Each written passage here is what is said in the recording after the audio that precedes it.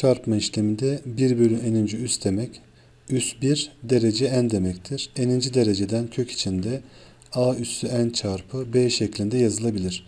Kökün derecesiyle üs aynı olduğu zaman zaten pozitif tam sayı bu dışarıya çıkabilir. a çarpı n'inci dereceden kök b şeklinde de yazılabilir.